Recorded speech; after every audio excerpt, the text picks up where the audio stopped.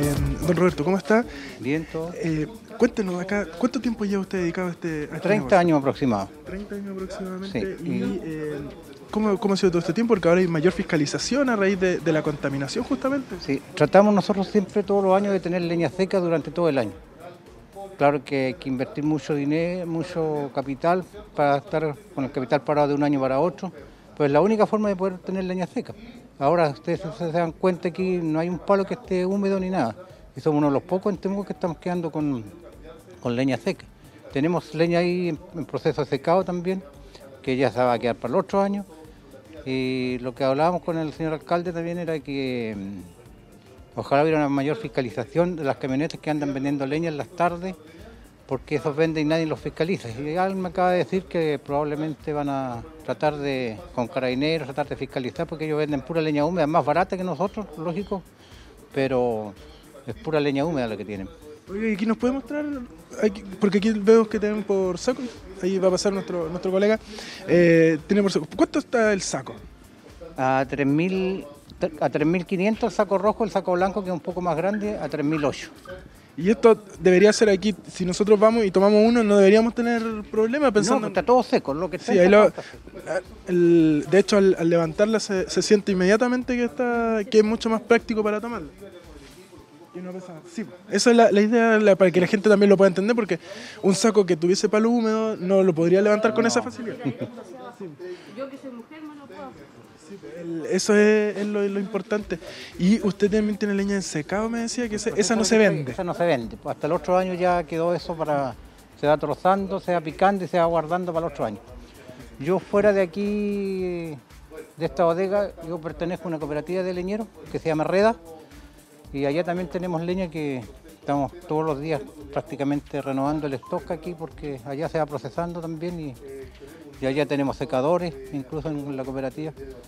Así que, pero esa leña, como le dijo, eh, ¿A cuánto está? Porque hay harta gente que siempre nos pregunta, ¿a cuánto está más o menos el, el metro de, de leña, pero seca, que, que cumple con toda la normativa que, que se necesita? Mire, el- donde, por ejemplo, la cooperativa de nosotros tiene leña seca, tenía, porque también se acabó, Se acabó, no queda sea, no queda leña. Y se llegó a vender hasta 45 mil pesos, pero son las medidas exactas porque muchas veces que usted compra leña a un camión no le dan la medida exacta. Pero allá es justo, justo la medida y leña seca. Y llegó a venderse a 45, 46 mil pesos el metro cúbico. Está más cara que el, que el año pasado. Muy- claro, más cara, pero es que es leña seca y certifica. Tanto, y está, si lo quieren medir, porque hay mucha gente que, que compra leña, compran 10 metros y resulta que después van a medir y hay 8 metros nomás. Y allá en la cooperativa, como le digo, se vende lo que es, lo que se está comprando el metro exacto. Eso es lo, lo importante. Sí, ¿dónde queda la cooperativa? Camino a la Bonanza, kilómetro la- 8. Kilómetro 8. Ahí se pueden se pueden contactar obviamente para poder... Ya no queda leña, eso sí. así que no- queda poquito. leña por saco nomás, por metro ya no queda nada en este momento. Por saco hasta 3.000 y 3.500 dependiendo del tamaño. Aquí, ¿Y dónde está ubicado usted aquí para que la gente vea? En Nahuel Buta, 2904, esquina 7 Norte. De aquí está súper fácil eh, llegar. Eh, muchas gracias, sí. Eh, muchas gracias, don Roberto. ¿Nos iban a mostrar cómo funcionaba el, el proceso? Sí, hola, ¿podemos hacerlo ahí con un...? Mira, aquí va a venir el- la persona, nos van a mostrar. Estamos esperando para conversar con el, el alcalde. Esta es la, ¿Cómo se llama la maquinita? Este es un silo higrómetro que mide la humedad de la leña, ¿ya? Entonces, ¿se entierra ahí el...? Claro, este equipo, a diferencia de los que usan eh, la mayoría de las leñerías, este tiene una púa que es más larga. Por lo tanto, el ingreso de la púa es hasta más al centro del palo para no tomar la humedad superficial. ¿ya? Normalmente el uso es, Y ahí cómo funciona, ahí nos muestra ahí... tiene un martillo, ¿no es cierto?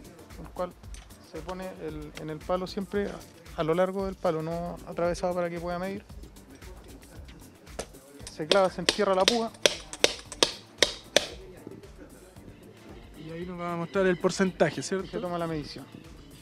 En este caso está con un 29,8% de humedad. La, la ordenanza municipal de comercio de leña eh, habla de que la, no- el promedio de la leña tiene que no superar el 25%. Entre todos los palos que Claro, de- dependiendo de la cantidad de leña que tengan, se hacen 10 medidas aleatorias. Y de las 10 medidas, el promedio no puede pasar del 25%. Porque pueden haber algunos que quizás les falta un poquito, pero tampoco Claro, es tanta la no- diferencia. No está tanto y hay otros que están mucho más secos, pero se toma en base a un porcentaje. Muchas gracias. Aquí está el, el alcalde. Vamos a conversar con el alcalde Roberto Neira. Alcalde, ¿cómo está? Eh, muy bien, muchas gracias. Bueno, importante realizar este tipo de fiscalizaciones, alcalde, pensando en que lamentablemente, y es cosa de darse una vuelta a la tarde por Temuco, eh, el aire está, irrespirable y hay que contar justamente con leña seca para, el- para los hogares. Sí, bueno, nosotros hemos iniciado junto al Departamento de Medio Ambiente y a su nuevo director, don Gustavo Fuente, y a nuestro asesor en materia de biomasa y arbolado urbano, visita a, los, a, las, a las- a las empresas, pequeñas empresas que venden leña seca, para primero fiscalizar, conocer el procedimiento y también hacer un llamado a la ciudadanía a comprar leña seca, porque los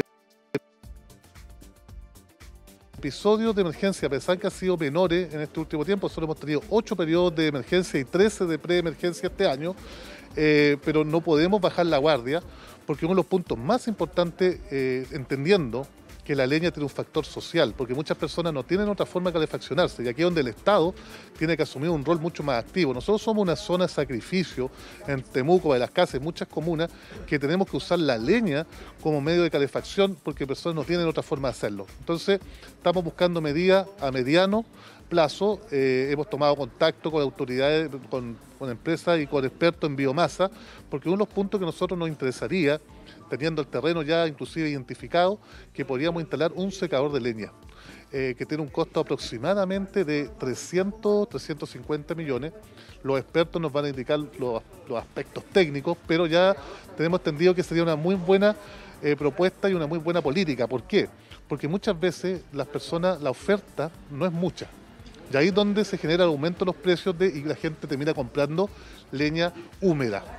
Alcalde, eh, una de, la- de las eh, denuncias que justamente hacía don Roberto, que, que el dueño de esta leñería, justamente tiene que ver con eh, las personas que están vendiendo leña en las tardes, leña húmeda, a un menor precio obviamente, pero que eh, acusan hay poca fiscalización. ¿Cómo se va a trabajar ese, ese aspecto desde el municipio? Mira, efectivamente nosotros tenemos dos fiscalizadores, solamente dos fiscalizadores y más encima para ese tema de, fiscalización que es específica para detener un vehículo, nosotros no tenemos esas atribuciones, las tiene solamente Carabineros, entonces tenemos que hacerlas coordinados con Carabineros de Chile y teniendo todas estas problemáticas nos genera un poco de, eh, de poca fiscalización.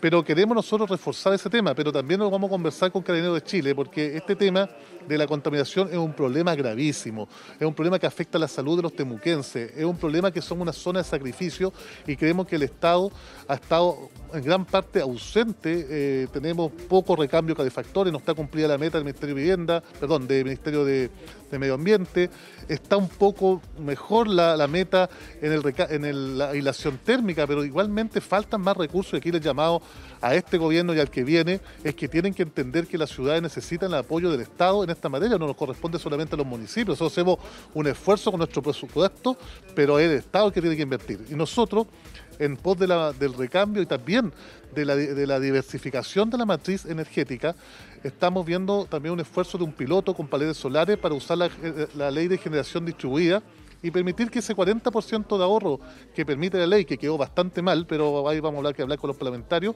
para ver que se puede ahorrar plata. Pero si nosotros pudiésemos cambiar esa ley y ese ahorro quedara en la empresa distribuidora y les permitiera a la familia usarlo cuando eh, los temas, en las épocas de invierno y poder calefaccionarse eléctricamente sin tener mayor gasto, porque el ahorro que tiene por la ley de generación distribuida lo permitiese, eh, tendríamos un avance muy importante en esta materia. Así que también hacemos un llamado al CEREMI Energía y sobre todo al Ministro de Energía a ver cambio en esta ley.